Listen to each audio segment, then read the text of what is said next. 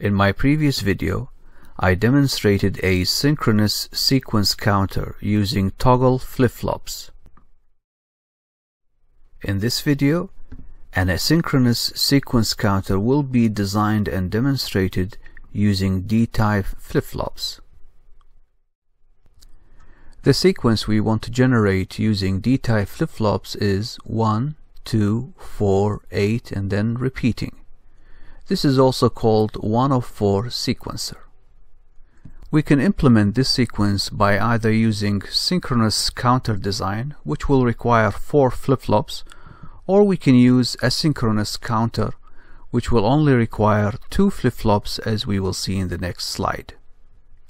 This is a 2-bit asynchronous up counter using D flip-flops that generates at the output the count values from 0 to 3. If we take the output of the counter and feed into another logic circuits, then we can have at the output the required count sequence, namely 1248. And the truth table for this is shown here. And from the truth table we can then determine the Boolean expressions for A, B, C, and D.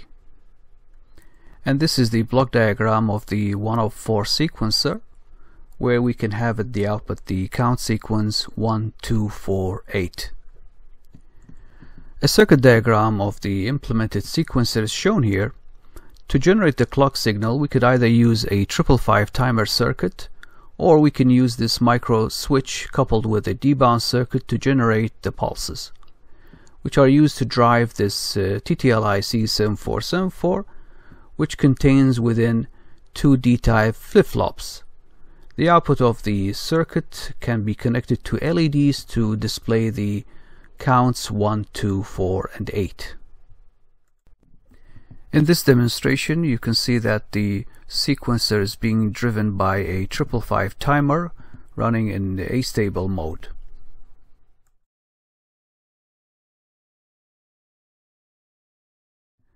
In a future video, I will demonstrate a sequence counter using flip-flops and combinational logic to display a pattern similar to the one shown here which was implemented using a microcontroller.